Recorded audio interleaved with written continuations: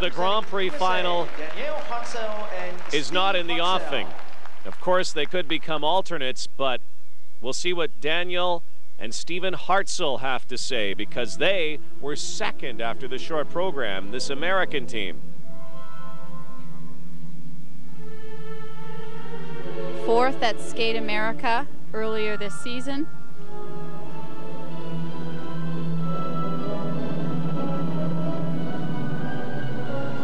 They open with a triple twist, a little bit wild there.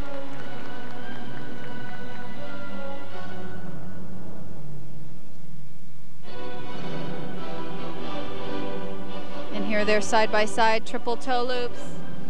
Quite a bit of distance between them and she turns out of hers.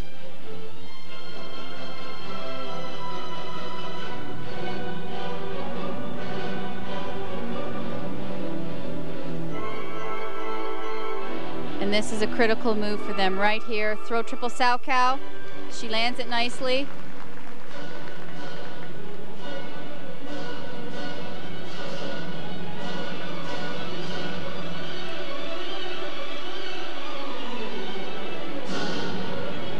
And this is a very different position on their platter lift.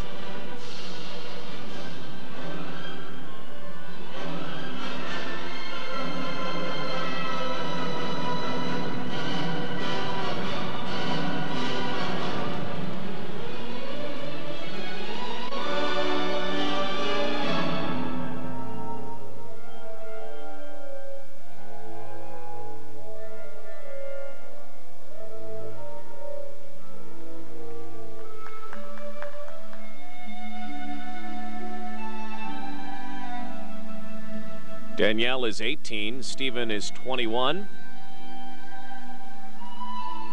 The U.S. Championships last season, they were third. Train at the Detroit Figure Skating Club.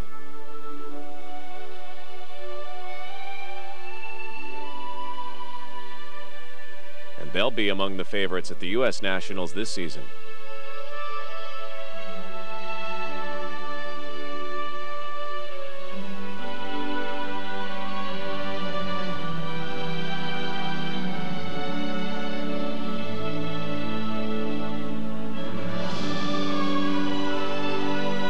Throw triple loop.